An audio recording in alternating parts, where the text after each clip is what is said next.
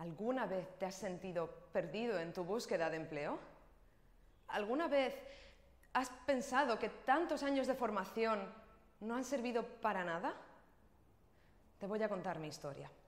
Cuando yo acabé la carrera hace dos años, sentía exactamente lo mismo que tú sientes ahora.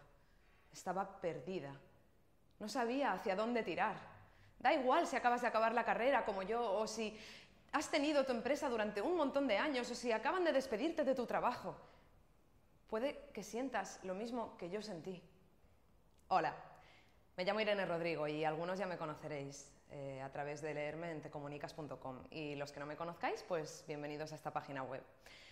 Antes de continuar, me gustaría preguntarte si en la primera parte de este vídeo me has visto natural, si me has visto auténtica.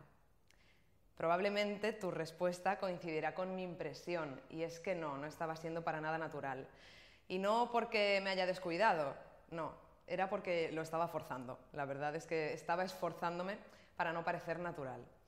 El problema es que muchas veces cuando hablamos en público o cuando nos ponemos delante de una cámara, no somos naturales y no porque forcemos el no ser natural, sino porque hacemos cosas que se supone que gustan o que convencen o que van a vender nuestra idea, pero esas cosas no están en nuestra naturaleza, no están en nuestra manera de hacer las cosas, no cuadran con nosotros, con nuestro estilo comunicativo.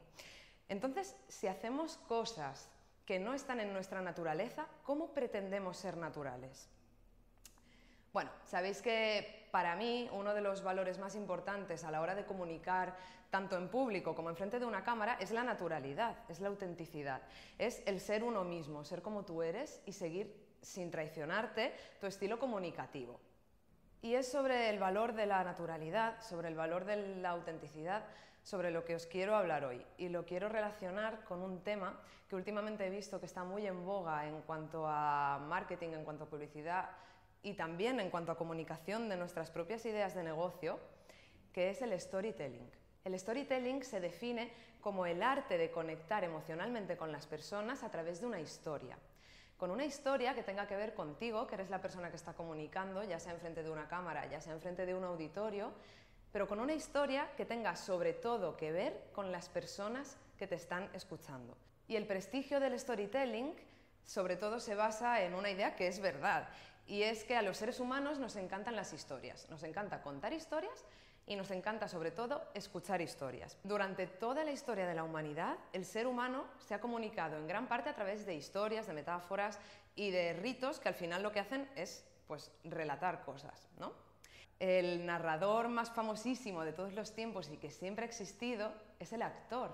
El actor es la persona que encarna las historias en su propio cuerpo, es la persona que nos está contando relatos a través de sí mismo, de su cuerpo, de su voz y de sus emociones. Y al igual que hay muy buenos actores que nos hacen parecer creíbles las historias más increíbles, también hay malos actores, que no nos creemos nada de lo que nos están diciendo ni de lo que nos están contando con su cuerpo, ¿no?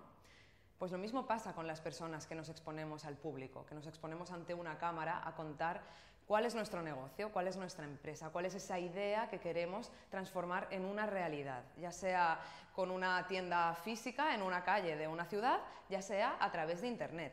Así que en este vídeo en realidad no quiero criticar al storytelling porque creo que es una herramienta muy útil si se sabe utilizar, si se utiliza correctamente. Quiero hacer una crítica más bien a la manera en la que estamos utilizando el storytelling, la, que, la manera en que creemos que esto es la panacea, que nos va a hacer conectar con nuestros clientes emocionalmente y que de hecho es la única manera de conectar con ellos. Y no, hay muchas más. Y no quiero criticar tanto al storytelling escrito, porque yo no me ocupo de ello, sino al storytelling hablado, contado, a través de nuestra voz y a través de nuestro cuerpo, que es en lo que, de lo que yo me ocupo en tecomunicas.com. Quiero que pienses en cuando tú estás en un ambiente que conoces, con un círculo de personas con las que tienes confianza.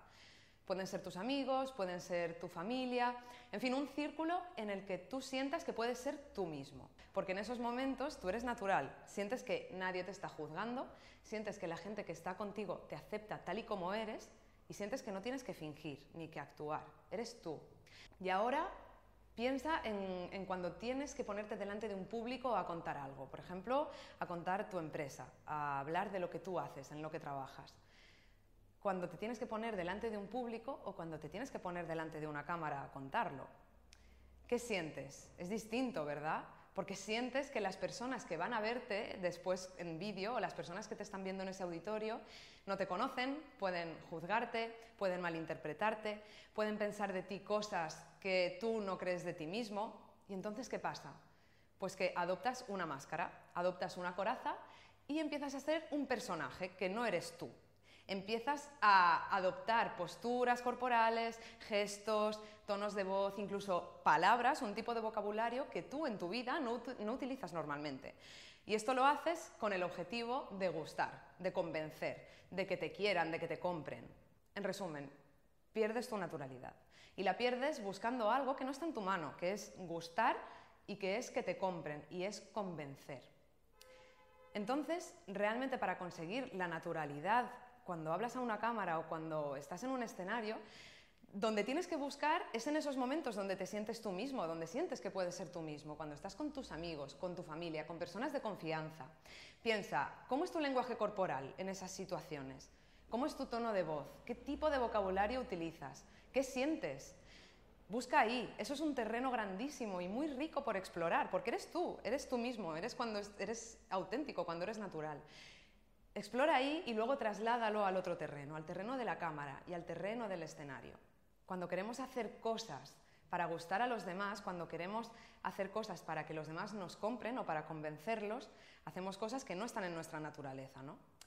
Y hacemos cosas que se supone que van bien para gustar y para convencer. Y una de ellas muchas veces es precisamente el storytelling. Nos han dicho que el storytelling vende, que conecta emocionalmente, que hace que gustes a, los demás, tanto tú mismo como tu empresa. Pero si no estás siendo natural, ¿cómo pretendes gustar a los demás? ¿Cómo pretendes convencerles si estás sonando falso? Con lo cual, ¿por qué pienso yo que debemos limitar el uso del storytelling? ¿Por qué no vale para todo? Pues porque a muchas personas nos puede restar naturalidad.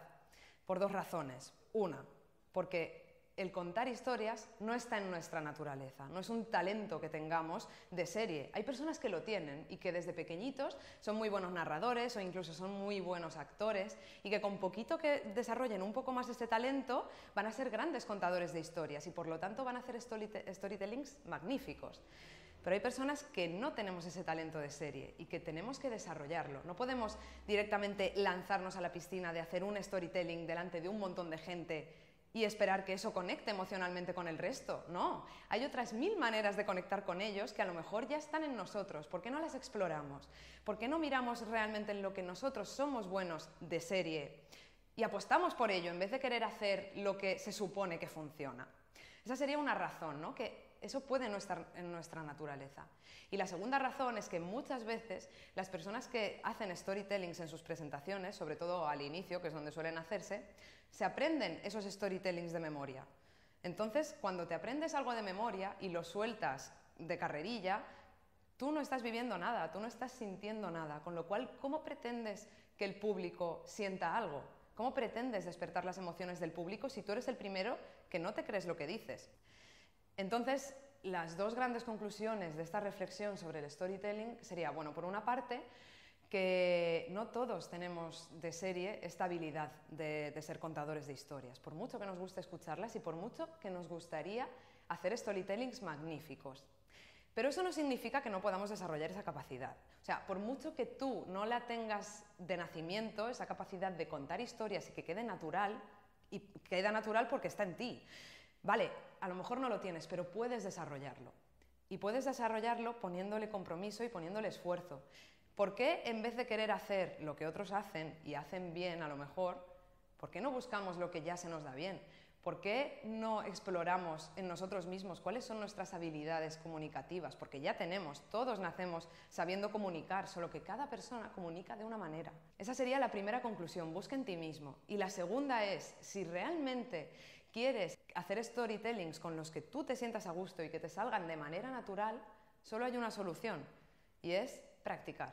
Practicar muchísimo, ponerte delante del espejo y ver lo que dice tu lenguaje corporal cuando haces el storytelling y ver cómo es tu tono de voz, escucharlo, ver tu expresión facial, eh, estudiar cuál es el vocabulario con el que te sientes más cómodo y así hasta llegar a integrar esa habilidad de contar historias.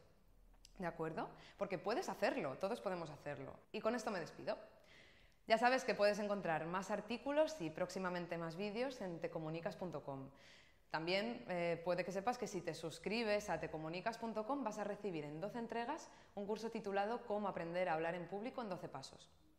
Si crees que este vídeo puede resultar de utilidad a alguien, pues ya sabes, puedes compartirlo por cualquier red social o por email, eh, recomendarte comunicas.com a tus amigos y hacer que juntos este proyecto basado en la comunicación eficaz vaya creciendo. Muchísimas gracias por estar ahí y nos vemos muy pronto. Chao.